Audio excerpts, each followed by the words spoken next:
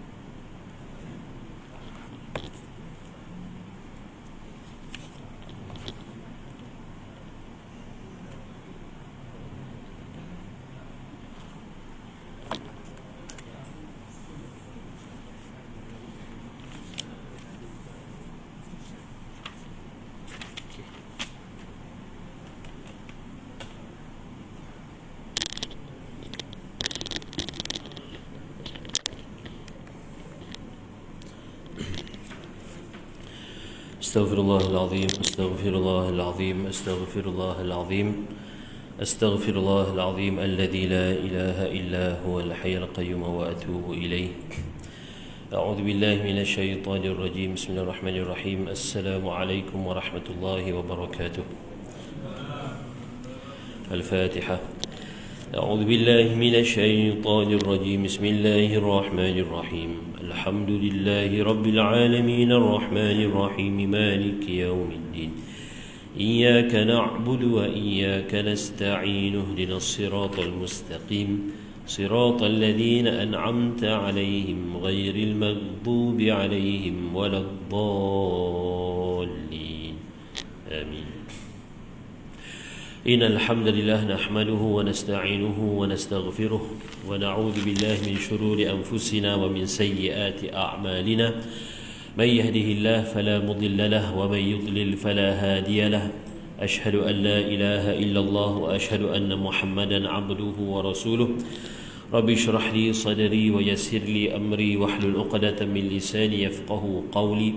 سبحانك لا علم لنا إلا ما علمتنا إنك أنت العليم الحكيم ولا حول ولا قوة إلا بالله العلي العظيم اللهم صل على سيدنا محمد وعلى آله وصحبه أجمعين أما بعد Alhamdulillah bersyukur Allah Subhanahu wa taala dengan limpah kurnia, rahmat dan inayah daripada Allah bersama kita bertemu kembali dalam kuliah bersemuka di surau An-Nur section 20 ini untuk kita meneruskan pengajian dalam kitab At-Tadhkirah fi Ahwalil Mauta wa Umuril Akhirah berkaitan dengan kematian dan juga hari akhirat.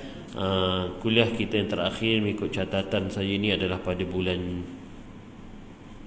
Julai. Julai. Sekarang bulan Oktober ya? Julai ya? Kan? Last Julai kot? Julai ke kelas? Tapi rasanya begitulah ke saya silap tulis nombor sini tapi tak apalah. Baik, uh, kita akan meneruskan pengajian berkaitan dengan tajuk bab al-Isra' bil janazah wa kalamiha. Bab al-Isra' bil janazah wa kalamiha iaitu berkaitan dengan uh, bersegera uh, ya bersegera uh, ketika mana kita membawa jenazah dan apakah perkataan ataupun doa yang disunnahkan ataupun yang elok kita ungkapkan atau kita bacakan semasa membawa ataupun mengiringi jenazah tersebut. Eh? Baik. Riwayatkan daripada Imam Bukhari rahimahullah an Abi Sa'id Al-Khudri kana an-nabiy sallallahu alaihi wasallam kana an-nabiy sallallahu alaihi wasallam yaqul idza wada'at al-janazah wahtamalaha ar-rijal ala a'naqihim فإن كانت صالحة قالت قدموني قدموني وإن كانت غير صالحة قالت يا ويلها أين تذهبون بها؟ يسمع صوتها كل شيء إلا الإنسان ولو سمعه لصعق. أو كما قال صلى الله عليه وسلم. حديث Imam Bukhari rahimahullah daripada Abi Sa'id Al-Khudri radhiyallahu anhu adalah Nabi sallallahu alaihi wasallam bersabda Wada'atil janazah wahtamalaha ar-rijal ala a'naqihim. Ha, ya. Iaitulah apabila kamu meletakkan jenazah dan membawa uh, jenazah tersebut oleh uh, orang. Uh, ya, oleh orang lelaki lah terutamanya ala a'naqihim di atas batang leher mereka. Ha, ini biasa kita nampak lah eh, kalau zaman kita sekarang atas keranda lah eh. bila jenazah dah selesai disolatkan eh, dah, dah mandi semua tu lah dah disolatkan maka kita uh, letakkan dia dalam keranda tutup dan keranda itu ada besinya kita bawa kan. Bawa atas uh, aknab eh. Berkaitan dengan kita punya leher lah maknanya atas bahu kita lah. Ya sama ada bawa tu memang enam orang tu ataupun berganti-ganti dan seba, uh, ikutlah keadaan uh, setempat. Uh, ya. Uh, cuma uh, kalau kita melihat suasana eh, ataupun berdasarkan beberapa hadis di sini ada al-isra ya bab al-isra iaitulah hendaklah kamu bersegera ha ya bersegera melaju ya ketika membawa jenazah. Ya suasana membawa jenazah di Malaysia ni tak sama macam suasana jenazah di uh, Arab Saudi lah khususnya di Masjid Haram ataupun di Masjid Nabawi. Tempat lain saya tak tak berapa perasan. Eh kalau di contoh di saya tak tahu lah suasana Covid ni macam mana tapi kalau sebelum Covid dahulu kalau solat jenazah tu kita tak sempat nak bagi salam. Maksudnya tak sempat nak bagi assalamualaikum assalamualaikum warahmatullah. Jenazah tu dah dibawa saya cakap dah dibawa lari dah. Ha ya. Lari jarak dari dari tempat imam nak solat di Masjid Nabawi terutamanya ke perkuburan Baqi itu lebih kurang 1 km lah lebih kurang ya tapi jenazah yang dibawa tu ber berganti-ganti Ha ya. Dalam dua tiga langkah orang lain ambil, dua tiga langkah orang lain ambil. Ha dia, dia, dia, masa semua nak berebut. Kerana apa? Kerana ada fadilat, ada kelebihan. Ha ya. Ha, kalau kita membawa jenazah ni, ha ya. Dari kita menguruskan uh, solat dan membawa tu sampailah di kebumikan. Sebenarnya ada fadilat-fadilat dia. Ha ya. Cuma kita kat Malaysia ni nampak macam Yalah orang Satu mungkin kita ni orang Malaysia Dan orang Melayu. Uh, sangat berlemah lembut lah. Uh, betul kita kita pun apa cakap uh, tak nak menyakiti mayat tu. Tapi bawa tu janganlah sampai slow sangat sampai slow motion. Uh, kan? Bawa perlahan-perlahan. Ya satu, satu je. Kita ni uh, bila uh, dengan jenazah ni orang Melayu ni sangat beremosi lah. Emosi dia berarti kata nak jaga jenazah tu jangan terlalu nampak sangat apa di digopohkan sangat. Satu lagi biar waris-waris tu nampak ya waris tu nampak uh, pergerakan warisnya untuk kali terakhir. Uh, kan? Jadi mungkin faktor-faktor itulah menyebabkan kita ni lambat sikit untuk kita membawakan jenazah tu. Uh, ya? Tapi betul juga kita dalam keadaan wasatiyah lah ya bersederhana jangan terlalu gopoh sangat ataupun jangan terlalu lambat sangat. Uh, ya. Maka dalam bab yang baca Fatihah tiga kali tu uh, itu pun mungkin saya tak pastilah. Tapi berdasarkan uh, khusus dalam perkataan-perkataan bagi dengan sunnah memang tak ada lah ha, memang tak ada lah kita kena stop bismillah al-fatihah. Betul lah selangkah al-fatihah itu ha, memang tak ada. Ha, eh? mungkin amalan ulama Allah alam. Tapi apa yang kita boleh praktikkan sebaiknya habis saja. Sama juga selepas kita habis solat jenazah tu sebenarnya se sewajarnya lah sebaiknya bila assalamualaikum warahmatullahi terus diangkat. Tak perlu lagi kita nak tahlil nak doa pun tak payah. Ha, kan? Ha, itulah kadang-kadang tu saya katakan mengikut budaya setempat lah ya. ada yang kadang-kadang sebelum se, masa jenazah sampai tahlil tu tak apalah tak ada masalah. Dah habis solat jenazah dia tahlil lagi. Tengah berdiri tu tengah assalamualaikum warahmatullahi doa dia tahlil lagi kul huwallah apa al falaq annas ayat kursi alif lam mim semua tahlil penuh lah Oh, jenazah tu dah nunggu masa ni. Ha, kita duduk tahlil lagi. Ha, kan? Lepas tu barulah dibawa. Lepas tu dengan bismillah al-fatihah tiga kali tu. Baru dibawa ke. Ha, ya? Sebaik-baiknya al-isra' ya, Sebab apa? Kita tengok apa apa yang dinyatakan oleh hadis Nabi SAW ni. Bila apabila wada'atil janazah diletakkan jenazah itu wahtamalaha rijal dan dibawa di atas uh, pundak ya, setiap lelaki ini yang kita katakan atas keranda itu fa in kana salihah qalat sekiranya jenazah itu jenazah yang baik. Ha, ya jenazah yang baik dia akan cakap apa? Qaddimuni qaddimuni cepat cepat bawa aku bawa aku. Ha, kan? Dia nak dia nak dia dia tu cepat dibawa. Ha, ya qaddimuni qaddimuni Ha, nanti kita tengok sebab apa. Eh? Wa in kana ghaira salihah. Tetapi sekiranya jenazah itu jenazah yang tidak baik. Ha, eh? Maka apa yang dia cakap? Ya wailah celakalah. Ha. Aina tadhhabuna? Ke mana? Ke mana kamu semua nak bawa aku ni? Ha, kan? Tetapi apa? Yasma' sautiha kulla syai'in. Sebenarnya apabila jenazah ni dah selesai disolatkan dan dibawa atas keranda itu yang dikatakan qaddimuni qaddimuni cepat ya cepatlah cepatlah. Ataupun yang di, kalau jenazah tidak jenazah yang tak baik ghair salihah uh, celakalah ke mana kau nak bawa. Sebenarnya dia orang makhluk lain dengar. Ha, contohlah kalau ada kucing kat dalam surau tu kucing tu dengar. Kucing tu dengar apa yang apa yang mayat tu cakap Ha, kan kalau ada lipas, kalau ada cicak, kalau ada apa lagi. Ha, binatang-binatang yang biasa ada kat surau ni dia dengar. Ha, kan? Illal insan kecuali manusia. Ha, kita je lah yang tak dengar. Ha, kan? Tak tahulah kalau ada yang dibukakan hijab. Ha, kan dia dengar suara mayat tu. Kau cakap ke bukan? Eh kau cakap ke bukan? Alamak siapa yang cakap? Ha, kan? Tapi benda tu sangat-sangat jarang berlaku lah ha, eh? sebab apa Nabi sebut? Walau sami'ahu kalaulah kamu semua ni manusia ni boleh dengar apa yang dibicarakan. Kalau mayat tu boleh bercakap dengar suara mayat tu la sa'id sudah pasti akan pengsan lah. Ha, kan? Automatik kita ni kalau tahu mayat tu bercakap pengsan. Ha, pasal tu kalau dalam pengurusan jenazah kalau dalam kita nak mandikan jenazah kalau orang yang mungkin first time ataupun jarang-jarang dia mandikan jenazah, kadang-kadang pergerakan uh, tangan kaki itu boleh berlaku. Ha, kan boleh berlaku semasa dia memandikan. Ha, mungkin masa mula-mula dia dia mungkin macam kaku sikit keras, tapi mungkin bila dah selesai dah mandi tu dia lembut balik, dia bergeraklah sikit tangan tu. Kita yang macam First time mandikan jenazah tak pernah Eh alamak mayat bergerak lah mayat hidup lah. Ha, Macam-macam hal lah pula ha, kan berlaku. Ha, Itu biasa-biasa yang ha, Benda-benda yang Nampak pelik tapi sebenarnya tak pelik pun eh? Sebenarnya tak pelik pun eh? ha, ya, Tapi zaman-zaman sekarang lagi lah Kalau orang tu Orang sekarang suka ambil gambar dulu. Ha, Ambil gambar dia terus viral lah. Dia habis benda tu jadi fitnah lah ha, Itu kita tak nak lah benda-benda macam tu berlaku ya. Pasal tu lah orang-orang yang diamanahkan Untuk memandikan jenazah ni Memang orang-orang yang betul dapat menjaga rahsia. Betul-betul orang yang sangat jujur dan amanah. Ha, tak boleh sembarangan orang. Ha, yang pasal tu kalau pengurusan jenazah di sesuatu tempat di surau atau di masjid mestilah orang-orang yang dikenali ke keamanahannya tu.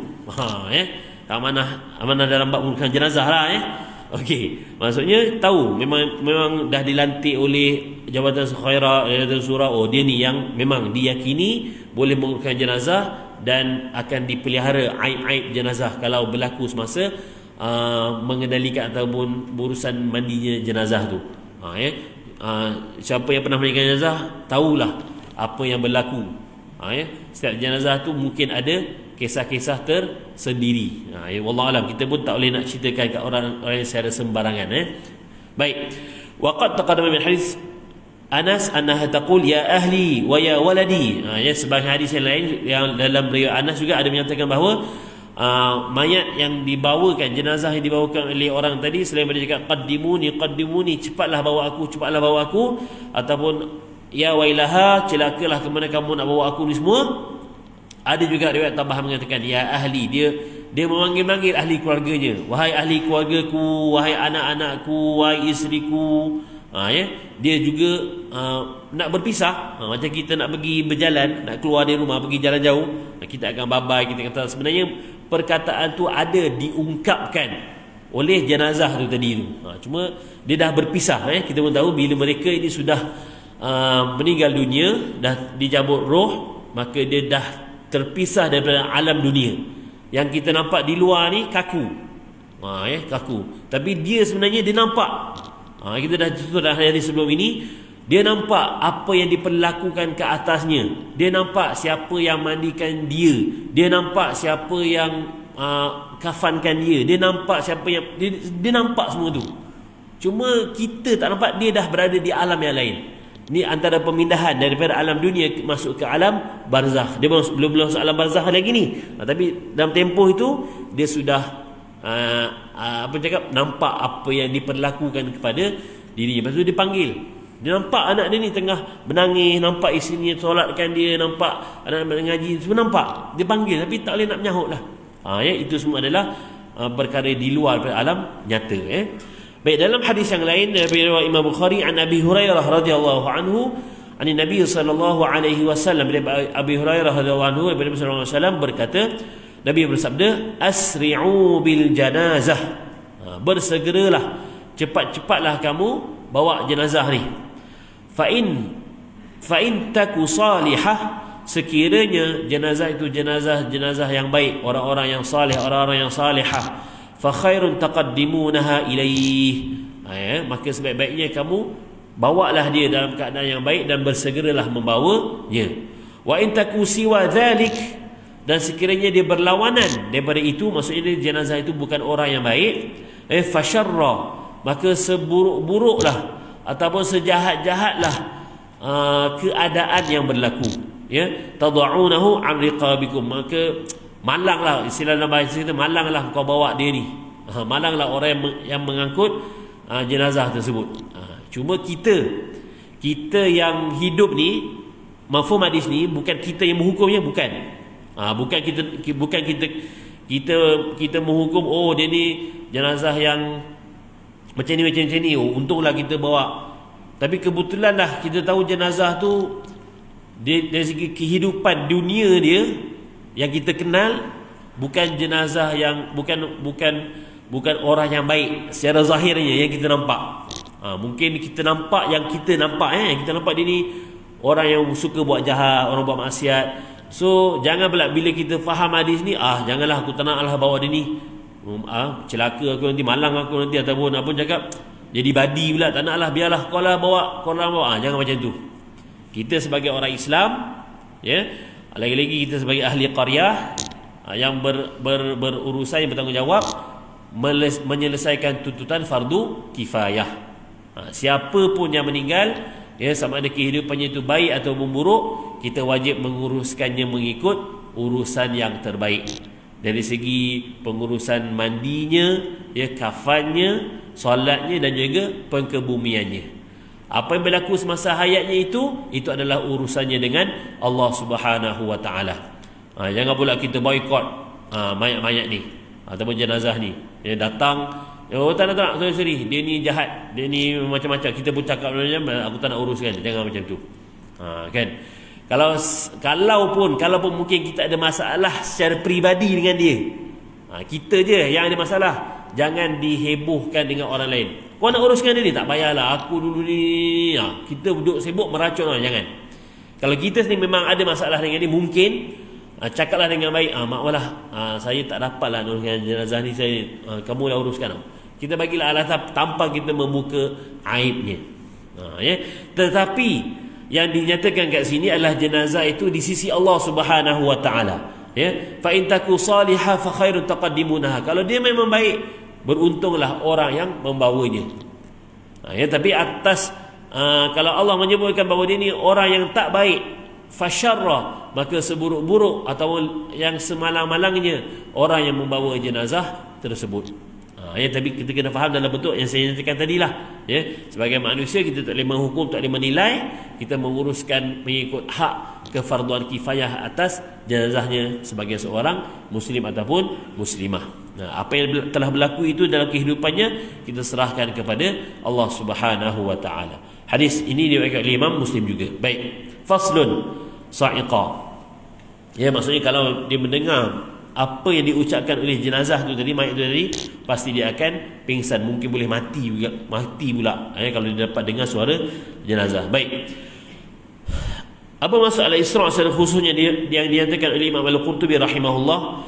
Al-isra' bihamaliha ila qabriha fil mashi ya maksudnya bersegera dalam bawa jenazah tersebut uh, semasa kamu berjalan. Uh, ya uh, kalau kita di berada di kampung mungkin uh, biasanya kubur tu berada di sebelah masjid sebelah surau maksudnya dia akan terus bawa jenazah jah tanpa menggunakan kenderaan Eh kalau kita di Shah Alam ni secara umumnya tanah perkuburan kita di seksyen 21 walaupun kita di seksyen 20 tak jauh tapi kita masih lagi menggunakan uh, kenderaan lah uh, ya van jenazah dan sebagainya untuk menggerakkan.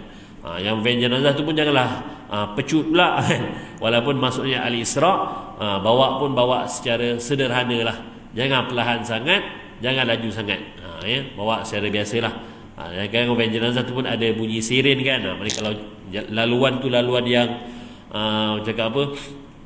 Sesak. Uh, bolehlah gunakan siren tu macam ambulans dan sebagainya. Sebab apa? Nak bawa jenazah ni. Kena cepat. Ha, uh, kena cepat. Dan kita pun kena bagi laluan. Eh, kalau kita kita sini berada di jalan raya uh, bukan sekadar kita beri laluan kepada uh, kenderaan polis kenderaan ambulans bomba sebagainya tapi kenderaan jenazah juga ada prioritinya untuk kita utamakan supaya dia bersegera dalam menguruskan jenazah tu ya.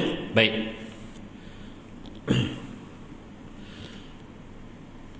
Baik, yang bermaksud juga al-Isra bersegera dalam menguruskan jenazah ini adalah tajhiziha ba'da mautiha li alla tataghayyar. Ha, ya. Iaitulah menguruskan bukan sahaja proses bersegera menguruskan jenazah ini dalam proses selepas solat tadi. Eh, walaupun uh, hadis ini secara umumnya adalah secara khususnya berkenaan dengan kita membawa jenazah itu selepas selesai solat jenazah ke tanah perkuburan. Tetapi sebenarnya jenazah ini telah disegerakan dari awalnya. Dinyatakan Syekh Imam Al-Qutubi rahimahullah tajhiziha ba'da mautiha li alla tataghayyar iaitulah menguruskan jenazah itu selepas sejurus selepas kematian maksudnya lepas dia meninggal dunia tu jangan lagi ditangguh-tangguh dalam menguruskannya. Ha, kan? Cuma SOP kita atau atau pengurusan jenazah di sini di Malaysia secara umumnya bila dia meninggal di rumah ha, memang kita kena tunggulah ha, wakil dari polis dan juga wakil dari pihak ha, kesihatan mungkin doktor yang bertauliah untuk mengesahkan kematian itu. Walaupun meninggalnya itu di rumah. Ha, kan? Cuma kita cuma boleh ha, tutupkan mata dia. Kita belajar sebenarnya tutupkan mata dia. Ha, letakkan tangannya di atas perut dan kita tutup. Ha, ya?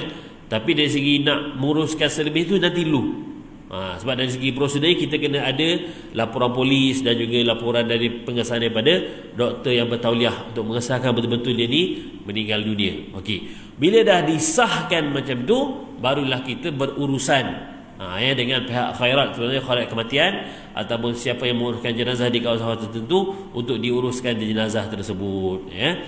baik yang yang dilarang ataupun yang dimakruhkan ataupun yang tidak digalakkan atau mungkin tidak dibolehkan adalah kita menangguhkan ataupun dah dah dapat pengesahan doktor dah polis pun dah sahkan ha, kita saja nak melewatkan jenazah itu ke esokan harinya dengan alasan apa? Oh anak-anak dia belum balik lagi. Kan? Kalau anak-anak dia sekitar seksyen kalau dia meninggal kat seksyen 20 mening uh, sekadar dari seksyen 2 atau dari seksyen uh, apa seksyen 8 atau dari seksyen 19 ha, tak apalah tunggu. Ini dari mana? Dari Kota Baru, dari Johor Baru, uh, dari mana? Dari uh, Arab Saudi uh, kan. Oh ni anak dia tengah tengah umrah ni besok baru sampai. Tunggulah dulu lah. jangan jangan ha, kan yang hidup biar urusan hidup yang mati kita kena selesaikan dia ha, ya begitu juga tidak digalakkan jenazah itu dipindahkan ke tempat lain untuk dikebumikan. Ha, ya. Kalaulah dia meninggal contohnya di Shah Alam walaupun dia orang dari orang dari Perak orang dari uh, Terengganu sebagainya sebaik-baiknya diuruskan di sini dan dikebumikan juga di sini. Ha, kan? Cuma saya cakaplah eh, bila dia berkaitan dengan budaya kita, orang kita Melayu, dia ada sedikit ha, emosi kat situ, oh tak boleh. Ha, dia ni kena dikebumikan sebelah kubur ayah dia, ha, dekat kampung sana. Ha, kan? Contoh, ha, masa itulah berlakunya proses tuntutan jenazah dan jenazah tu dibawa ke ha, negara negeri yang lain. Jauh lah, maksudnya mengambil jarak yang jauh. Ha, ya. ha, kalau sekadar mungkin di kawasan sekitar dua marhalah tu okey lagi lah dia dah sampai merentas negeri tu uh, tak berapa uh, saya nak kata tak berapa sunnah pun betul lah uh, ya? tak berapa cantik sebenarnya. Uh, kan? Tapi kalau dah itu tuntutan waris uh, kalau kan benda tu tidak wajib di, ditunaikan kalau benda tu menyalahi sunnah. Ha, ya. tapi kalau tu sebab apa? Tak nak dia tataghayyar ya. Begitu juga mana jenazah ni macam mana keadaan sekalipun bila dah disahkan kematian itu terus dibersihkan Ha, ini semua ilmu-ilmu dalam pengurusan jenazah lah ya. Siapa yang, yang biasa menjadi khusus pengurusan jenazah Ataupun um, uh, ahli khairat secara khususnya Memang kena bersihkan terus. Ha, Dah disahkan kematian tu dibersihkan ya. Maksudnya uh, dimandikan terus. Walaupun nak ke bumi itu esok Mandi siap-siap. Ha, Mungkin kita ada urusan-urusan tertentu Tak boleh nak ke bumi malam. Ha, Dulu lah sekarang saya dah boleh kot. ha, Atas pengurusan macam itu tak apa Maka di, kena wakil besok Tapi apa-apa Selesaikan mandi dulu Jangan besok walaupun nak, nak besok pengkebumiannya oh besoklah kita mandikan dia biarkanlah dulu tak boleh. Ha, kan? Kita pun tahu mayat ni dia dah dah dah tak jalan dah. Ha, ya? Apatah lagi kalau kita tak bersihkan najis-najis itu. Ha, kan najis sama di, di duburnya atau di kuburnya tu kena bersihkan. Ha, pasal tu kita tak nak bau.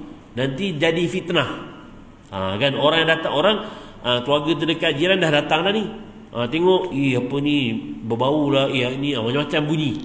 Bila dah berbau, ha, cerita macam-macam pula. Ha, maklumlah biasa tengok cerita apa ni? Apa cerita nasi bilahan tu? Tanah kubur kan? ha, macam-macam lah. Kalau bau macam ini, oh dia sebab ini. Kalau matanya macam ni, macam ini. Oh, kita pun dah terkesan. Ataupun biasa baca buku apa? Buku mastika tu kan? Ha, kan cerita macam-macam. Padahal benda tu tak kita tak tahu pun sebenarnya apa yang berlaku. Ha, kan ada orang jadi macam ni kenapa? Itu, itu, itu just andaian-andaian sahaja. Benda itu tak semestinya berlaku. Jadi kita tak nak macam tu. Ya yang tahu kita uruskan jenazah tu. Secara baik secara ikut sunnah mandikan dulu bersihkan dulu. Sementara nak tunggu pengurusan jenazah yang lain tu dari segi solat dan sebagainya ha, maka di, diletakkan dengan baik tapi jangan semata-mata saya katakan tadi sebab-sebab yang tidak sepatutnya kita menangguhkan tajhiz dalam kita menyiapkan jenazah itu. Sebab apa? Empat yang utama ni apa dia? Pertama tadi adalah memandikan, mengkafankan, solatkan dan juga dikebumikan. So empat benda ni kena dibuat secara kalau boleh berturutan, berterusan. Jangan ada gap. Ha, ya? Cuma saya, saya faham dalam isu sekarang ni uh, dan covid ni kan perlu ada pengesahan tambahan pula. Ha, ya, kalau dulu mungkin dia kalau dia meninggal polis sahkan doktor sahkan dah dah kira meninggal lah. Ha, sekarang kena ada pengesahan covid pula. Ha, uh, masa, masa covid tengah kemuncak dulu tu ada eh uh, saya terdengar kawan-kawan yang yang berkhidmat sebagai sukarelawan pengurusan jenazah ni. Uh, berlaku juga ahli qadah saya sekalipun dia meninggal di hospital. Yang meninggal biasalah meninggal sebab sakit ya. Sakit tua tapi tertahan di hospital tu dalam tempoh saya rasa dalam 2 3 hari juga. Ha, kan? Sebab apa? Queue ha, kan? Queue satu queue dari segi nak mendapatkan pengesanan COVID-19 tu ya dia meninggal sebab COVID ataupun tidak. Kemudian queue untuk menguruskan jenazah di hospital tu sebab masa tu kan kes sangat tinggi kan Meninggal sampai beratus-ratus. Lepas tu queue pula nak nak dibawa ke tanah perkuburan. Ha, kan? Saya pun dah lama tak pergi kubur ni. Ha, Rasa dah, dah bertambah kot eh, Blok-blok tambahan tu. Ya, Sebab dulu kes sangat tinggi. Ha, ya? Jadi ha, kalau kes-kes macam tu Tak dapat nak dielakkan lah. Ha, kan? Jadi macam sekarang pun saya tahu benda tu dah mula longgar sikit. So hospital pun di, uh, Kalau beberapa kes kematian berlaku setakat ini hospital tak berapa nak menguruskan jenazah lah maknanya kalau boleh dibawa balik ke Korea ahli Korea yang uruskan. Ha, sebab tak nak ada lambakan kes pengurusan jenazah di hospital. Eh, kalau so kalau meninggal terus dibawa ke kawasan tempat tinggal dia diuruskan oleh ahli Korea sendiri. Ha, ya. yang penting sekarang apa? Bersegera dalam menguruskan jenazah tu. Baik قال أخبرنا محمد بن عبد الأعلى قال حدثنا خالد قال حدثنا عيينة بن عبد الرحمن قال حدثني أبي قال syahidtu janazah Abdul Rahman bin Samurah ha, ya? berkata uh, Uyainah bin Abdul Rahman Abdul Rahman sorry, Abdul Rahman ini sorry uh, anak kepada Uyainah berkata syahidtu aku melihat janazah Abdul Rahman bin Samurah salah seorang uh, apa uh, tabi' wa kharaja Ziyad wa yamshi baina yaday as-sarir فجعل رجال من أهل عبد الرحمن ومواليهم يستقبلون السرير ويمشون على عقابهم ويقولون رويدا ruwaida بارك الله فيكم ya. Maksudnya bila dah diuruskan jenazah Abdul Rahman bin Samurah itu dan Ziyad uh, berada di sebelah katilnya. Ha, ya, dalam nak uruskan jenazah tu faja'ala rijal uh, min ahli Abdul Rahman dan ada di kalangan ahli keluarga Abdul Rahman itu dan juga uh, kaum kerabat yang lain yastaqbiluna sarir ya uh, memandang ataupun berhadapan menghadap kepada jenazah tersebut wa yamshuna ala aqabihim. Dan dia berjalan dalam keadaan sangat bersegera wa yaqulu dan mereka berkata ruwaida ruwaida. Perlahan sikit perlahan sikit. Ha ya. Maksud saya katakan tadi jangan terlalu gopoh dan jangan terlalu lambat ha maksudnya bertenang dalam keadaan ruwaida ruwaida sikit-sikit barakallahu fikum semoga kita semua diberkati oleh Allah Subhanahu wa taala baik فكانوا يدبون حتى إذا كنا ببعض الطريق لحقنا أبو بكر رضي الله عنه يمشي على بغاله ha, ya. apabila dah nyatakan uh, di, dibawa dengan perlahan tadi oleh keluarga Abdul Rahman bin Samurah tadi uh, eh, bila dia cakap tadi Ruwaidah perlahan-lahan jangan jangan laju sangat perlahan-lahan maka pada ketika itu uh, berjalanlah sebelahnya Abu Bakrah radhiyallahu anhu yang menunggang uh, bagalnya uh, yang sedang menaiki bagal bagal ni adik pada keldai lah. Uh, eh. kalau, keldai, kalau kuda kuda besar keldai tu kecil sikit bagal ni lagi kecil. Uh, ya Bagal ni dia lagi lambat lah jalan slow je kan. Ha, ya. Falamma ra'a alladhina yasna'una hamala 'alaihim bi baghlatihi wa huwa 'alaihim bisawt. Ha, ya. Dan bila dia dia menaiki menaiki bagal tu, bagal tu lambat. Eh, bagal tu pergerakannya sangat lambat sampai dia kena pukul bagal dia biar cepat sikit, cepat sikit. Ya. Dan dia nampak tadi Abu Bakar ni nampak keluarga Abu Bakar Samurah ni bawa jenazah tu lalu lambat ruwaida ruwaida خلوا فوالذي كرم وجه أبي القاسم لقد laqad رأيتنا ma'a Rasulullah sallallahu alaihi wasallam wa inna lanaka narmal biha ramlan. Ha, ya? maka dia cakap Abu Bakrah cakap kat sini فوالذي كرم وجه أبي القاسم dengan kemuliaan yang ada pada wajah Abi Al-Qasim siapa? Yakni Nabi Muhammad sallallahu alaihi wasallam. Laqad raaituna aku telah melihat ya dan aku bersama-sama dengan Rasulullah sallallahu alaihi wasallam wa inna lanakat dan kami ni apabila kami membawakan jenazah itu narmal biha ramlan. Ya kami akan bergerak secara ber uh, ramal. Ramal ni apa? Berlari-lari anak. Uh, berlari-lari anak. Ya kalau kita belajar dalam bab tawaf terutamanya uh, ya antara sunnah kita semasa tawaf adalah berlari-lari anak pada tiga pusingan yang pertama. Ha, ya tawaf tu ada tujuh pusingan. Tiga pusingan pertama tu berlari-lari anak Ha, bukan misalkan buat baru berjalan macam biasa.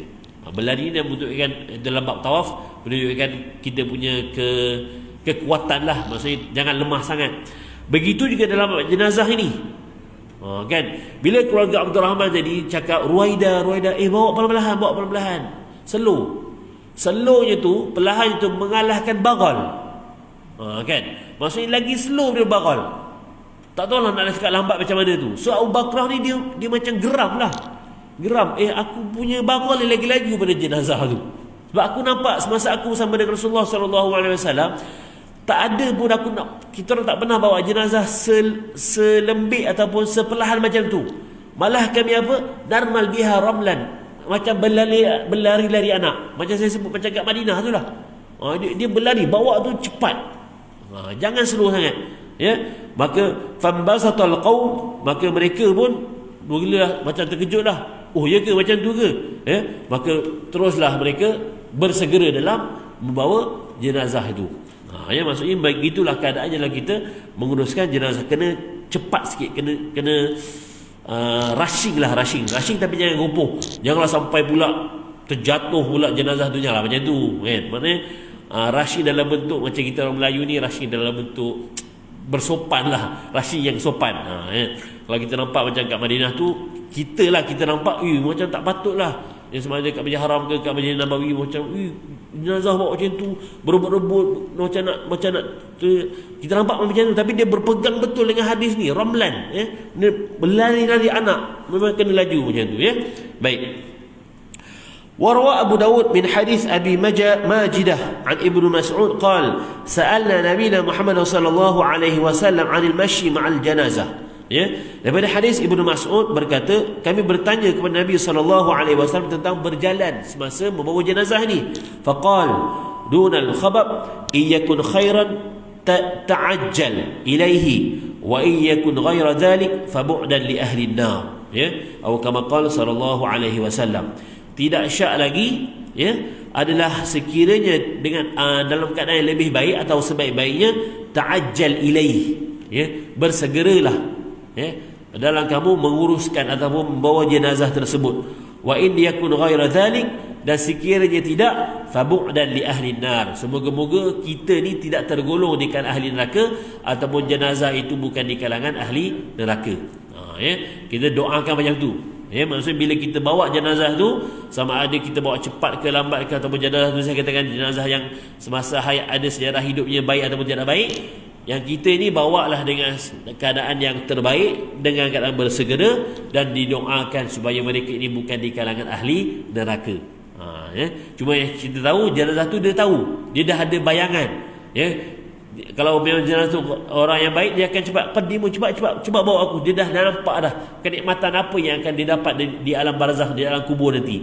Tapi kalau orang-orang yang ghair salihah yang kematian ini mungkin kematian yang su'ul khatimah dia dah nampak dah bayangan dia bahawa kau nak bawa aku dah celakalah janganlah. Kalau boleh aku tak nak masuk ke dalam kubur tu.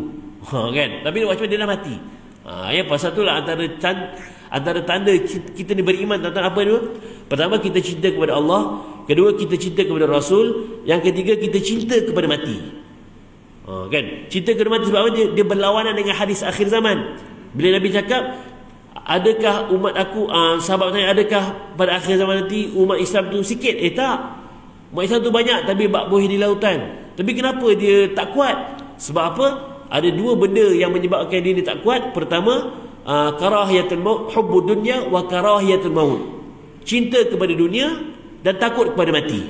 So takut mati ni adalah sifat yang tak baik. So kita kini ada cinta kepada mati. Eh azan.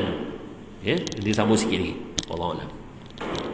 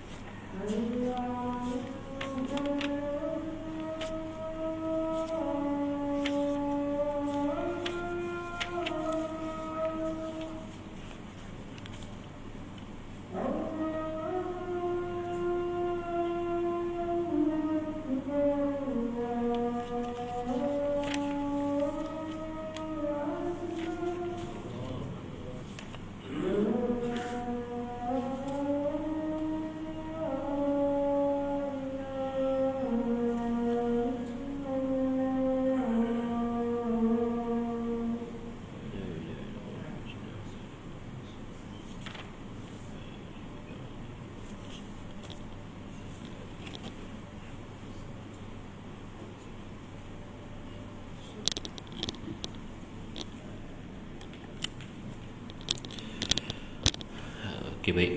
Uh, sedikit rumusan berkaitan apa yang kita telah bacakan dari hadis Nabi sallallahu alaihi wasallam pada hari ini berkaitan dengan al-isra' bil janazah wa kalamiha bersegera dalam kita membawa jenazah dan perkataan-perkataan berkaitan dengannya iaitulah jamaah ahli ilmi maksudnya kebanyakan ahli ilmu menyebutkan di sini al-isra' itu adalah fawqas sajiyah qalilan iaitulah bersegera ataupun uh, dalam kita bawa jenazah ni dengan keadaan cepat itu adalah uh, fauqa sajiyah qalilan. Maksudnya uh, lebih cepat sikit daripada adat kebiasaan.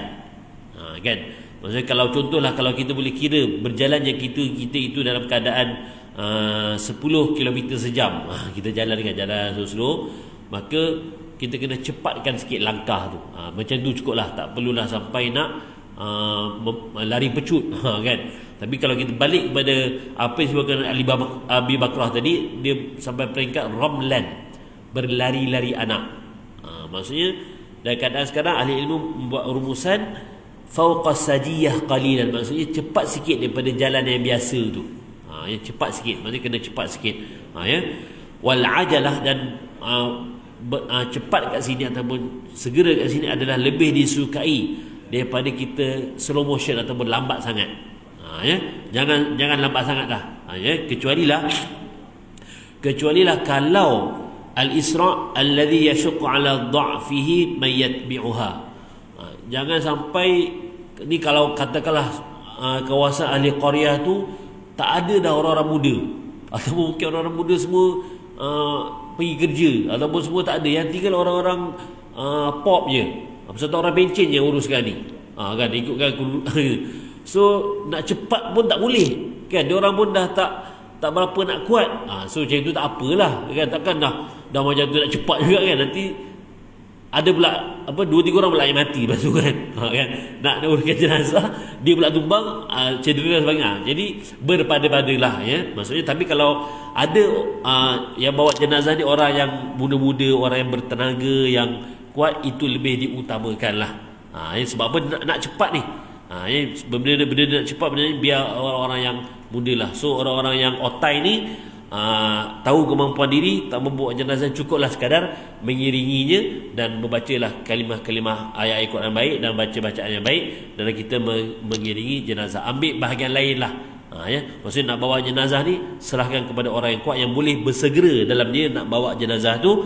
Ha, supaya apa sunnah itu dapat dilaksanakan dengan baik. Ha, ya. Dan juga janganlah tadubu dabibal yahud wan nasara. Janganlah sampai uh, tadubu ni macam dub apa uh, apa tu kat sini berseronok sangat sampai diiringi dengan muzik pula itu itu pun itu pun dah dah, dah jatuh haram lah eh. Sampai ada iringan muzik kadang-kadang sampai suatu tahap kita jangan jangan terpengaruh dengan agama. Eh, Yahudi Nasrani lah kalau kita tengok kalau contoh contoh sekarang kita tengok kan pengurusan uh, uh, jenazah. Jenazah juga lah kan orang-orang Kristian. Macam mana ada semasa nak tunggu jenazah tu uh, ada pasang lagu uh, kan. Nak bawa nak bawa dia ke tanah kuburan dia pun ada dia ingin lagu. Uh, tu, itu bukan kita lah Ha, bukan kita ya. Kita syukurlah sekadar macam baca Fatihah tu dah betul lah. Bukan saya tak nyatakan bahawa tiga kali baca Fatihah tu salah tapi jangan sampai objektif menyegerakan jenazah tu menjadi terlambat. Sama juga dalam bab kita memanjangkan tahlil selepas solat jenazah tu pun saya rasa elok di uh, uh, jangan cakap saya anti tahlil ya tak. Tapi maksudnya ikut kesesuaian. Kalau sebelum ya kan maksudnya jenazah tu uh, sedang dimandikan ataupun sedang menunggu jenazah seorang tak apalah kita baca tahlil tapi bila dah solat jenazah tu maksudnya habis solat jenazah assalamualaikum assalamualaikum doa yang ringkas Allahumma fillahu Allahumma fillaha amin dah terus bawa Ha, tak perlu lagi nak tu dan kalau kalau boleh ucapan tu pun ucapan tu pun sebaiknya sebelum solat jenazah. Ha, kan biasa cakap okey ada tak warisnya? Okey, waris pun cakap, okey saya adalah ni, ni ni waris kepada ni. Jadi kalau ada sebaiknya ucapan tu sebelum solat jenazah. Ha, sebelum solat jenazah tu waris sudah ke depan dulu. Okey, sebelum sebelum kita solatkan jenazah ni, ha, saya waris kepada jadi ini, ini umumkan kalau ada apa-apa utang sebagainya, ha, bolehlah jumpa saya dan berumur. Okey, lepas tu solat jenazah, habis solat jenazah tu ha, doa ringkas terus bawa. Ha, itulah konsep yang sebaiknya. Ha, yang kita kena ubahlah maksudnya biasakan yang betul betulkan yang biasa ha, ya ha, cara sekarang ni saya cakap tak salah tak salah tapi kita boleh buat yang lebih baik daripada itu ha, kan yang penting konsepnya macam ni menyegerakan dalam pengurusan jenazah dalam keadaan yang lebih baik. Ha, itu saja. Jadi cukup sekadar itu yang kita boleh kongsikan pada malam ini. InsyaAllah pada minggu hadapan, uh, bulan hadapan kita bertemu lagi dalam bagaimanakah pengurusan pula kalau kita nak mengebumikan ataupun dah masukkan dalam yang lahat tu apa yang nak dibuat. Ha, ya, secara ha, sunnahnya mengikut apa yang diajar oleh Nabi wasallam. Maka saya mohon maaf bersama serta kata. Kerana segala kesempatan dari Allah Subhanahu wa taala aqulu qawli hadha wa astaghfirullah alazim li wa lakum. Assalamu alaikum warahmatullahi wabarakatuh أعوذ بالله من الشيطان الرجيم. بسم الله الرحمن الرحيم. اللهم نور قلوبنا بنور هدايتك كما نورت الأرض بنور شمسك أبدا أبدا. برحمتك يا أرحم الراحمين. ربي زدنا علما نافعا وارزقنا فهما واسعا. وصلى الله على سيدنا محمد وعلى آله وصحبه وسلم. والحمد لله رب العالمين. تسبح كفارة. سبحانك الله وبحمدك. أشهد أن لا إله إلا أنت. أستغفرك وأتوب إليك. 어, 뭐